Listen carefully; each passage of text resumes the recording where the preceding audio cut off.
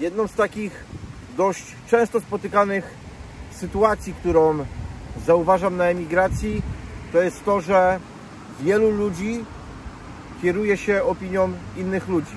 No wiadomo, że po to są opinie, żeby je wystawiać i żeby ludzie się kierowali. Ale ja zawsze jestem i byłem takiego zdania, że najlepiej to się przekonać na własnej skórze. Sami nieraz pewnie w swoim życiu słyszeliście, że mówicie komuś, że chcecie jechać na wakacje, przykładowo do Egiptu czy do jakiegoś innego kraju i ktoś wam gdzieś tam mówi, że a, że on był, albo był jego znajomy i nie poleca, bo to syf, bo się czepiają, że tam się nie opłaca jeździć, tam nic nie ma, cały dzień będziecie siedzieć w hotelu. I na pewno mieliście taką sytuację, albo ktoś z waszych znajomych, nie? Że jak chcecie coś zrobić, to wam ktoś mówi, że słyszał albo był i tam jest źle i wam nie poleca. I przypomniała mi się pewna taka sytuacja u mnie w pracy, tam gdzie pracuję.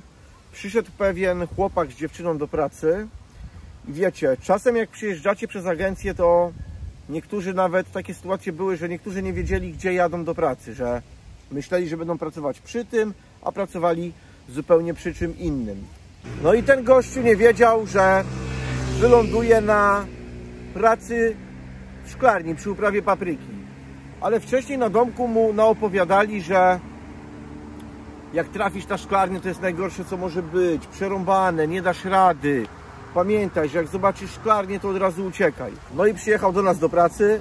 Okazało się, że to jest szklarnia i on wlazł i od razu mówi do tego szefa naszego, do pracodawcy, do brygadzisty, nie, że on nie będzie robił, bo jest za gorąco, że nie ma szans, on na 100% nie będzie pracował na szklarni, że on słyszał, że jest za gorąco, że nie są ludzkie warunki, strata tata, wiecie, nie?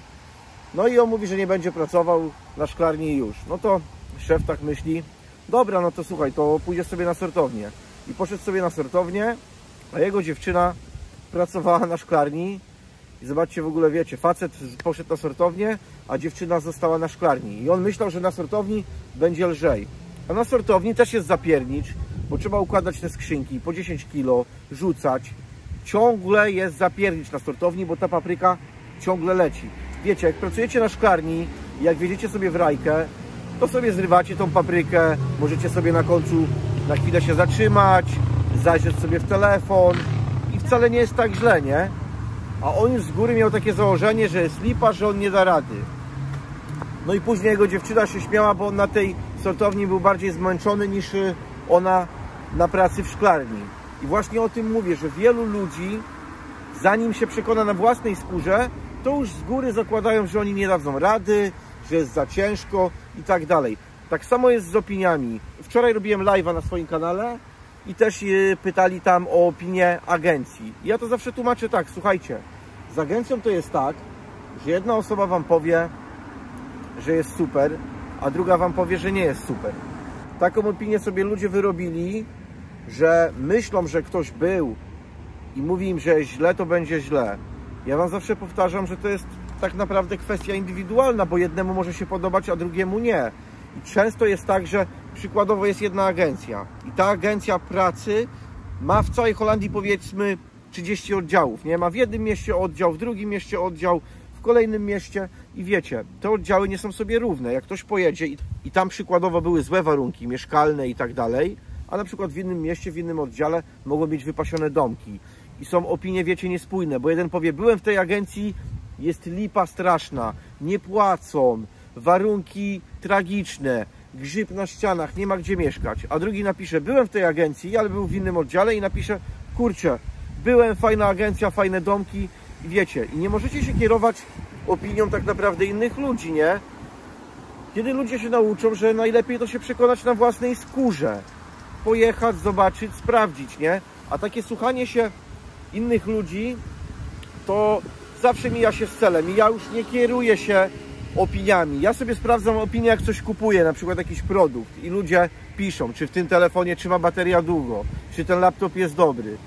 Takimi opiniami się kieruję, a nie, że ktoś pojechał i przykładowo ktoś się zachowywał tak, yy, wylądował w takiej w takiej sytuacji, to nie znaczy, że druga osoba też będzie się tak samo zachowywała i wyląduje w tej samej sytuacji, nie?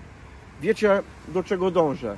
Nie możemy się kierować opinią innych ludzi, a najgorsze jest to, jak już wszyscy sobie z góry założą, że to jest czarne, a to jest białe. Wiecie, to jest takie idziecie za stadem baranów, nie? Jak wszyscy powiedzą, idziemy w tą, bo tam jest źle i wszyscy biegną w tą. Nie, idziemy w tamtą, wszyscy biegną w tamtą. Człowiek musi sam się przekonać i dowiedzieć, co tak naprawdę jest dla niego dobre.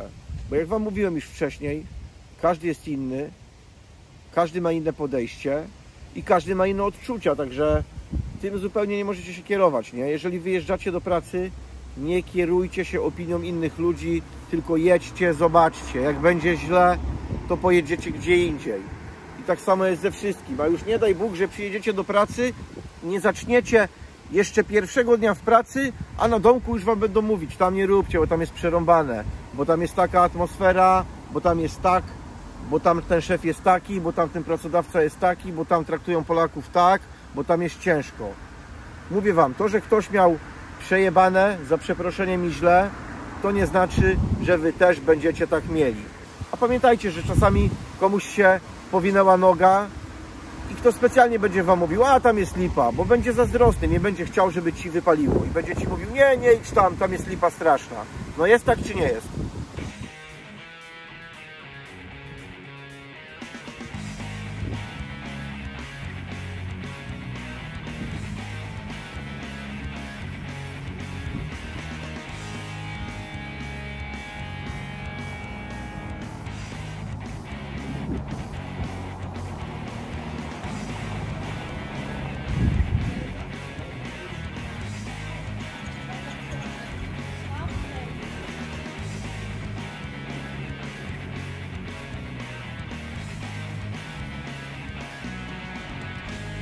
Także mówię, nie ma co zakładać niczego z góry, a już najgorzej jak niektórzy pod presją innych ludzi, pod namową innych ludzi nastawiają się od razu, że będzie coś negatywne, że będzie negatywnie, że jeżeli tam ktoś powiedział, że jest tak, to na 100% ja tak samo będę miał. Pamiętajcie, tak to nie działa. Każdy człowiek jest inny i każdy musi kierować się swoim własnym odczuciem, nie? I mieć swoje zdanie. Pamiętajcie o tym, bo ja zauważyłem, że tutaj na emigracji to jest bardzo duży problem, że ktoś coś powie i później wszyscy za tym dążą, wszyscy to wierzą i wszyscy to popierają, nie? Nikt nie ma swojego zdania, tylko wszyscy po prostu to, co usłyszą, to wierzą, łykają i później takie teorie różne spiskowe się tutaj szykują. Bo ludzie no ferment, gadają nieprawdę, głupoty, wyolbrzymiają, ktoś coś powie, tamten sobie doda. Później takie niestworzone historie tutaj powstają na emigracji. Naprawdę ludzie, którzy są na emigracji lub byli, to wiedzą, że te takie historie, jak ludzie wymyślają, to ja nie wiem skąd oni w ogóle to biorą. No, także w dzisiejszym odcinku to byłoby na tyle. Pamiętajcie, nie słuchajcie żadnych porad, tylko sami sobie wywnioskujcie, co jest dobre, a co nie. Trzymajcie się spokojnej soboty i myślę, że jak wszystko dobrze pójdzie, to widzimy się jutro. Siemano!